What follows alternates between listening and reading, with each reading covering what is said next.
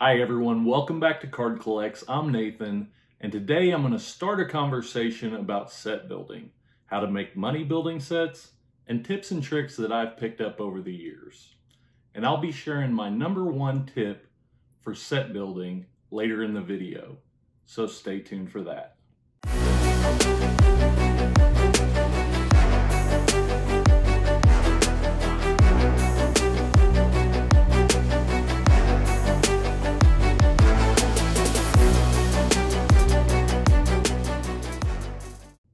If you're interested in set building or just sports cards in general, smash that subscribe button and join in on the fun. A lot of your sets prior to 1970 are going to be very valuable even in a low grade. As you get into the 70s, your sets get in that 300 to $1,000 range. Once you get into the 80s, though, things get a little bit tricky.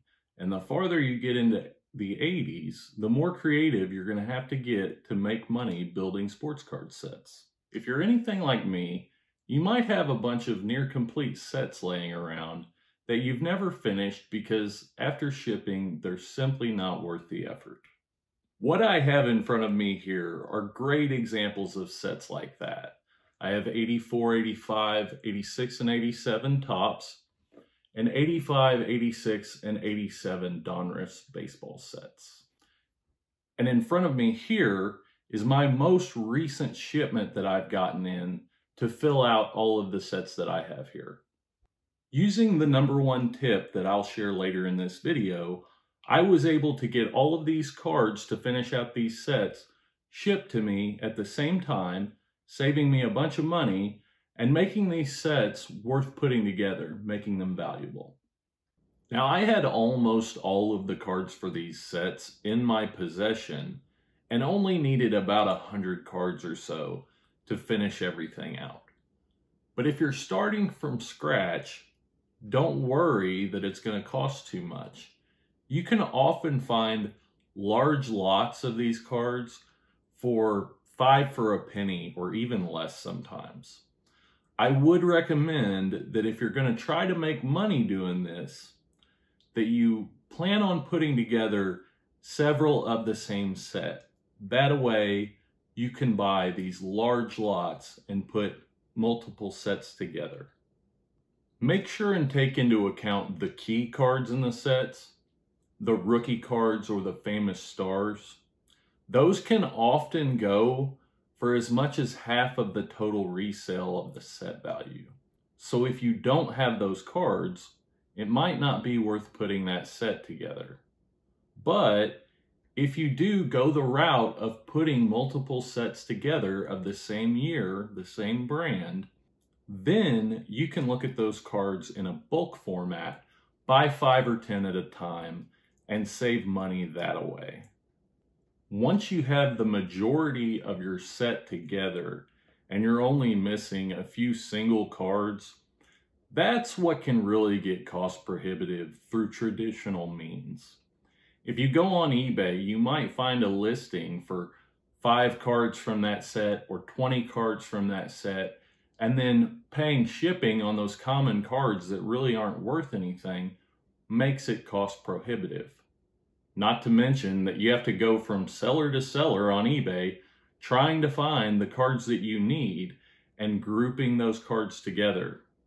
It can really be a hassle, so I'm super excited to show you the service that I use and how I go about getting all of those cards I'm missing from the same place and saving a lot of money in the process. Before that though, I want to share my main tip when it comes to shipping sets of cards. Shipping can also be very cost prohibitive when you're dealing with small margins, but there are some ways around it. These 1980s Donruss sets came in a 660 count format. They fit in a 550 count box because of differences in cardstock. They're a little thinner than what they would grade these for. You can fit three of these 550 count boxes if you turn them up on their side in one medium priority mail flat rate box that ships for $14. You can fit five of these 550 count boxes in this box here. This is a little known priority mailbox and it's for board games. It's called a board game box. And you see there's some chess pieces and dice here. You can order these off USPS. I have yet to find them at a local post office. But they're great for set builders because you can fit five of these 550 count boxes long ways in one of these board game boxes. Or you can fit two of these 800 count set boxes with a lot of room to spare. So you could have two of these 800 count boxes and one or two of these 550 count boxes. And again, those are, these are large priority mail flat rate boxes. So up to 50 pounds. And think on eBay, the large priority mail flat rate is around $18.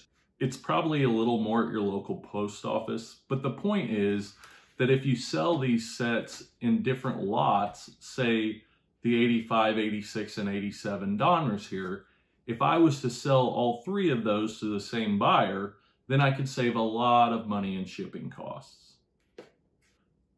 Hey guys, if you're already getting value from this video, make sure to like and subscribe, hit that notification bell, and you'll get notified every time I post a new video. Now let's get into my number one tip. My number one tip is a company called Sportlots that I use to buy all of my commons and some of my rookies and stars that I need to finish out my sets. Let's jump on the computer and I'll introduce you to Sportlots and how they can save you a lot of money. When you first come to sportlots.com, this is your homepage. So there's a search bar right here. There's a drop down for whatever sport you're looking for. And they have a store and they have an auction. And their auctions are done a little differently, so I'll get to that later. But the real key here is the Sportlots boxes. So what they offer is you set up an account, you can search through all the cards, and then the sellers will ship those cards in bunches to Sportlots and they will be put in your box. And then once you have all the cards you want in your box, then Sportlots will ship one shipment to you instead of all these individual sellers shipping individually to you. So like I said, there's the drop down over here and you pick your sport. And then you just go to the search bar and you type in whatever um, year you're looking for. So 1984, and I would use a brand. If you just put in 1984, it is going to pull up every listing that has the number 1984 and every brand of cards that come from, say, 1984. So what I'm going to do is I'm going to search 1984 Topps. We're already on baseball, so you don't have to put that in. And if you do, it won't come up right. So 1984 Topps. And this will come up. 1984 Topps base set. So if you want to drill down a little deeper, you can just put in 1984 Topps base set, and that will bring up all of the 1984 Topps base set, or whatever year you're looking for. And normally, in a lot of the years from this era, they will have every card in the set. Um, even the big cards, the rookies, or, you know, the Hall of Famers, they'll have those cards normally. Not always, but normally. So you go down through the list, and let's say I'm missing the Billy Sample, card number 12, 1984 Topps base set. I'll hit this plus sign. It'll give me a drop down. And then this, these are all of the cards that are available. And you can see these are 18 cents a piece. Um, so less than five for a dollar, and you won't find that on eBay.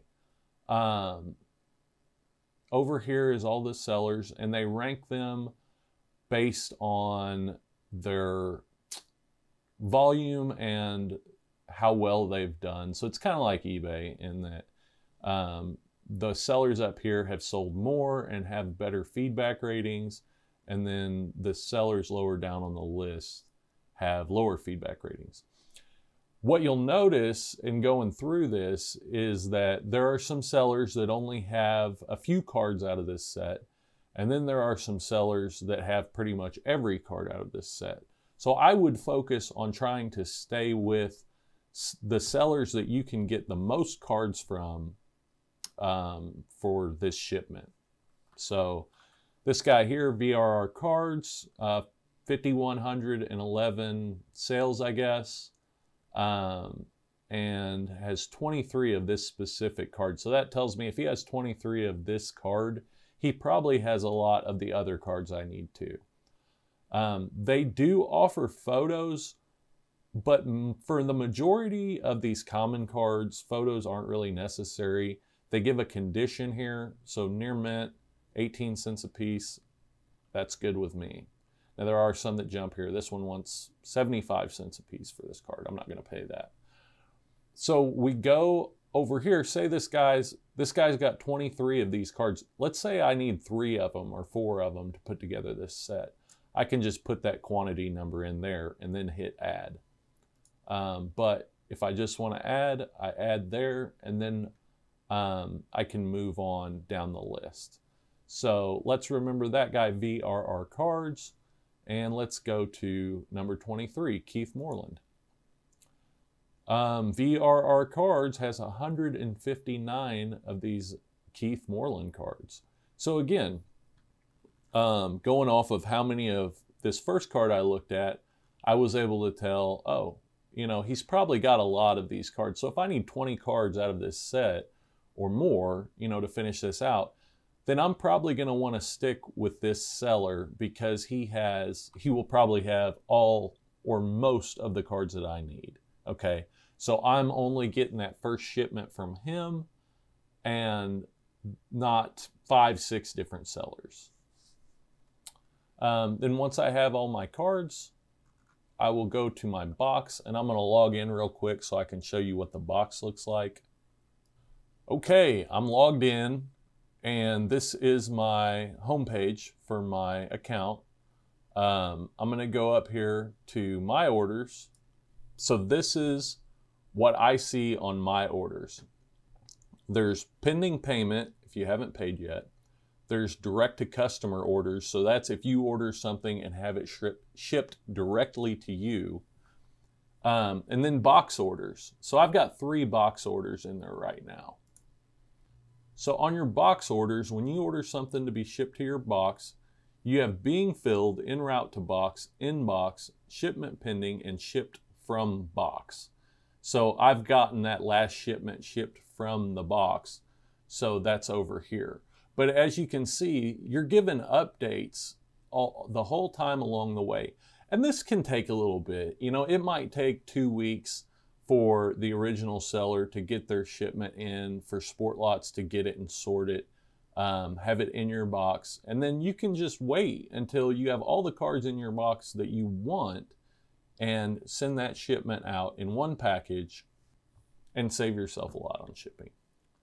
So if I go over to my ship from box here, you can see I've ordered from all these different sellers, um, 23 cards on this order, 23 from this seller on this order and on down the line. All right. So this is the amount for the cards. This is what I paid for the cards. And then here's the postage. So this, um, you know, some of these guys, when they do box orders, they have zero shipping. So that's also something you'll want to look at. Um, but most of the time it's very low. 50 cents, 40 cents, a dollar, a dollar 50, a dollar 50 for 20, 23 cards, you would be charged at least $5 shipping on eBay to get 23 cards from someone or close to that. So yeah, there's very little cost to ship to Sportlots to your box. And then once it's in your box, you know, they charge you standard shipping rates to send those cards out. For this entire order of 150 cards basically. I think they charged me $9 for this order, for shipping from them all of these cards from all of these different sellers back to me. Now, while we're here, I'd like to hit on Sportlots auctions. So you see our featured auctions here. And if you just click on an auction, so I'm going to click on this 1989 Fleer baseball box. If you just click on an auction, you don't see a timeline on it. So you see the seller, um, you see the current bid. Uh, there's a place to make your bid. It's very similar to uh, eBay in that regard. Um, and then shipping, what your shipping would cost.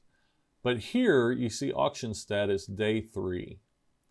Okay, Sportlots does what they call 321 sold uh, auctions.